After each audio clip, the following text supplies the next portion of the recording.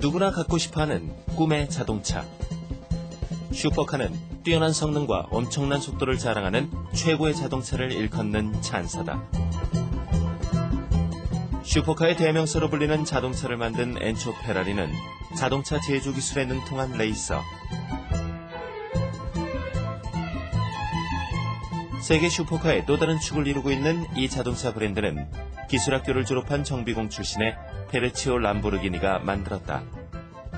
이탈리아의 자존심이라고까지 불리는 세계 최고의 명차는 책상 앞에 앉은 CEO가 아니라 현장을 누비던 기술 장인들에 의해 만들어진 것이다. Ci mettiamo 10 secondi di tempo, ad esempio, no? In modo che rimanga aperto, capisci? 그들의 장인 정신을 배우며 제2의 페라리, 제2의 람보르기니를 꿈꾸는 학생들.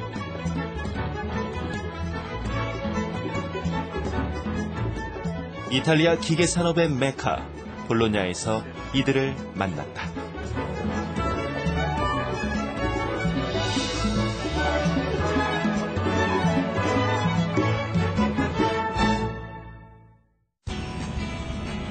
피렌체 북부에 위치한 볼로냐.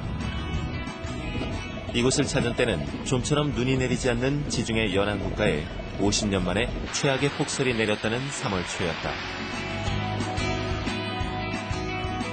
볼로냐는 세계 3대 슈퍼카로 손꼽히는 자동차 회사와 남자들의 로망이라 불리는 오토바이 제조 회사가 있는 곳이다.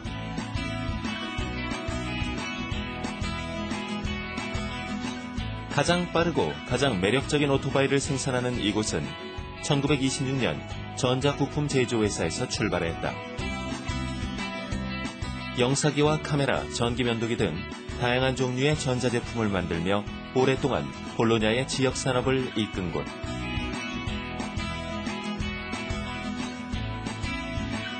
튼실한 중소기업의 운명을 바꿔놓은 건 전쟁 직후인 1946년 자전거에 모터를 장착한 보급형 오토바이를 만들면서다. 세계에서 가장 탐나는 오토바이의 시조인 셈이다.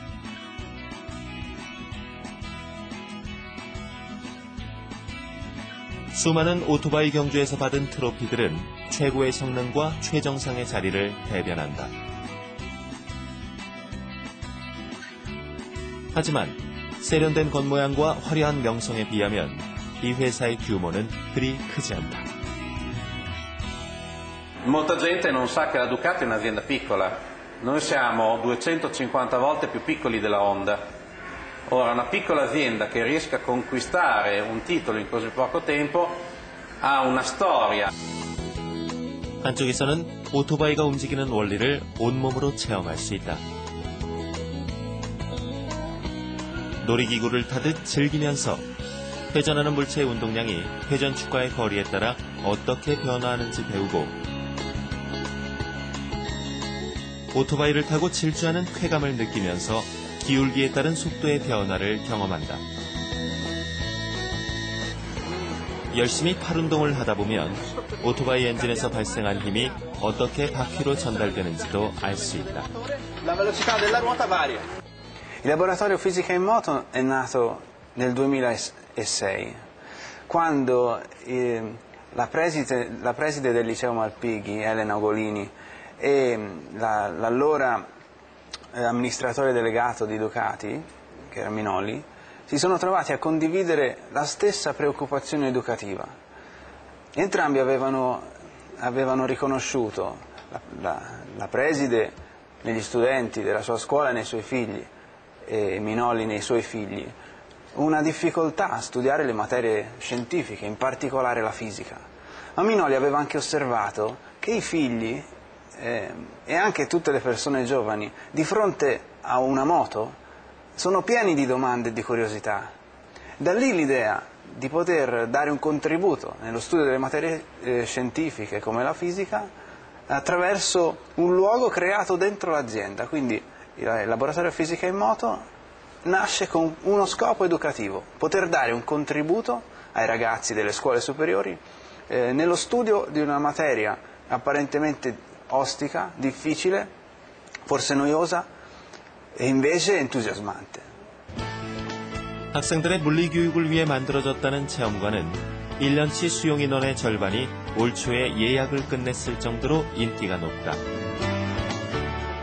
이날은 역사적인 폭설로 교통이 통제되는 바람에 어쩔 수 없이 견학이 취소도 했지만 복잡한 물리 공식을 온몸으로 체험할 수 있는 데다 교육 담당자가 거의 1대1로 붙어서 설명을 해주기 때문에 해외에서의 방문 신청도 끊이지 않는다.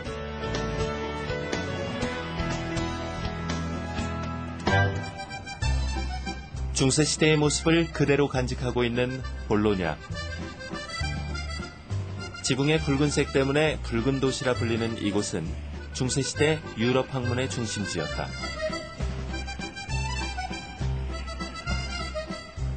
유럽에서 가장 오래된 대학이 있고 학자들이 많아 현자들의 도시로도 불렸던 곳.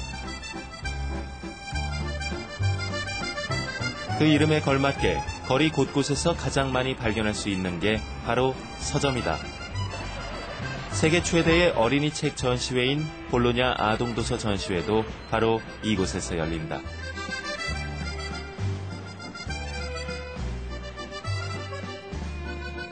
볼로냐를 수식하는 또 다른 별명은 풍요의 도시다.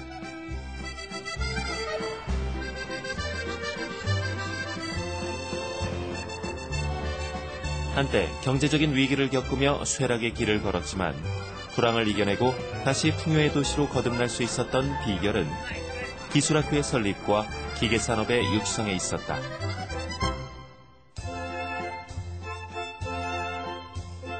볼로냐 시내에 있는 산업기술박물관.